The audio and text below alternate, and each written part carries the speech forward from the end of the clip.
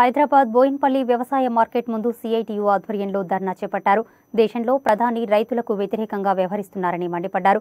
కేంద్రంలో వ్యవసాయ నూతన బిల్లుకు వ్యతిరేకంగా సిఐటియు ఆధ్వర్యంలో నిరసనలు చేశారు.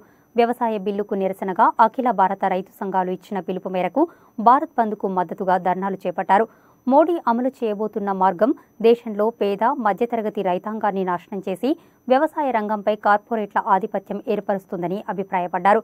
దీని కారణంగా పండించే రైతు వినియోగదారుడు ఇద్దరూ నష్టపోతారని మండిపడ్డారు.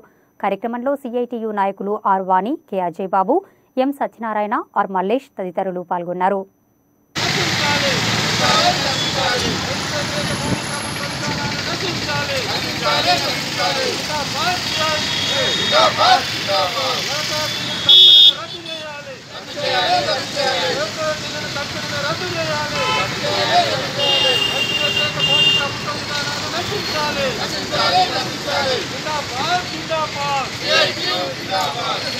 రైతు వ్యతిరేక మోడీ ప్రభుత్వ విధానాలు నశించాలి. తక్షణమే వ్యవసాయ బిల్లును రద్దు చేయాలి. తక్షణమే వ్యవసాయ బిల్లును రద్దు చేయాలి. జిందాబాద్ జిందాబాద్. జిందాబాద్ జిందాబాద్. ఆవాజ్ ఆవాజ్ రైతు వ్యతిరేక మోడీ ప్రభుత్వ విధానాలు నశించాలి. రైతు వ్యతిరేక మోడీ ప్రభుత్వ విధానాలు నశించాలి. రైతు వ్యతిరేక మోడీ ప్రభుత్వ విధానాలు నశించాలి. వ్యవసాయ బిల్లును తక్షణమే రద్దు చేయాలి. వ్యవసాయ బిల్లును వెంటనే రద్దు చేయాలి. ఈరోజు హైదరాబాద్లో ఉన్నటువంటి బోయినపల్లి డాక్టర్ బిఆర్ అంబేద్కర్ వ్యవసాయ మార్కెట్ దగ్గర రైతులకు మద్దతుగా ఈ ధర్నా కార్యక్రమం సిఐటి ఆధ్వర్యంలో నిర్వహిస్తూ ఉన్నాము. మొన్న పార్లమెంటులో మోడీ గారు పెట్టినటువంటి రైతు వ్యతిరేక బిల్లుని మేము వ్యతిరేకిస్తూ ఈరోజు ఇక్కడ ఈ ధర్నా కార్యక్రమం చేస్తూ ఉన్నాము. ప్రధానంగా మోడీ గారు బీజేపీ సర్కార్ పార్లమెంట్లో పెట్టినటువంటి బిల్లు భారతదేశంలో ఉన్నటువంటి రైతులకు అందరికీ కూడా పెద్ద ఎత్తున నష్టం కలిగించే పద్ధతిలో ఉంది అని చెప్పేసి మేము చెప్పదలుచుకున్నాము.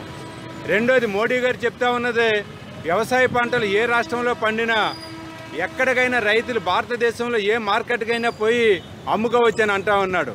ఇది పచ్చి అబద్ధం. ఎందుకంటే హైదరాబాదులో ఒక ఐదు ఎకరాలు ఉన్నటువంటి రైతు మహారాష్ట్రలో మంచి మార్కెట్ ఉంది అని అంటే ఈ ఐదు ఎకరాల్లో పండినటువంటి వంద నూట ఇరవై బస్తాల ద- వడ్లను తీసుకుని వెళ్ళి మహారాష్ట్రలో అమ్మితే లారీ కిరాయిలు ఏమొస్తాయి దారి ఖర్చులు ఏమొస్తాయి?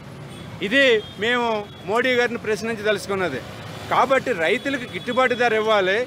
రైతులకి మంచి మంచి విత్తనాలు ఇవ్వాలి సబ్సిడీ ధరల మీద ఎరువులు ఇవ్వాలి ఆ రకంగా ఉండాలి తప్ప ఈ కొత్త వ్యవసాయ బిల్లుని పార్లమెంట్లో పార్లమెంట్లో పెట్టి ప్రతిపక్షాలు ఏమీ లేకుండా వన్ సైడెడ్గా మొత్తం బీజేపీ మంత్రులు బీజేపీ ఎంపీలు మోడీ సర్కారు వన్ సైడెడ్ విధానాలనే ఇది సరైనటువంటి పద్ధతి కాదు. ప్రజాస్వామ్యాన్ని కూనీ చేసింది. పార్లమెంటు చరిత్రలో భారతదేశానికి స్వాతంత్రం వచ్చిన తర్వాత ప్రతిపక్షాలు లేకుండా ఇరవై ఆరు బిల్లులని ఒకేసారి ఆమోదించుకున్నటువంటి చరిత్ర భారతదేశ పార్లమెంటరీ వ్యవస్థకి ఇంతవరకు లేదు. First time Bharatiya Janata party Modi నాయకత్వంలో ఇది జరిగింది. కాబట్టి ఇంత దుర్మార్గమైనటువంటి ప్రభుత్వాలనే ఎక్కడా చూడలేదు. కేవలం రైతులకే కాదు ఉద్యోగులకు కూడా ఇది పెద్ద ఎత్తున నష్టం.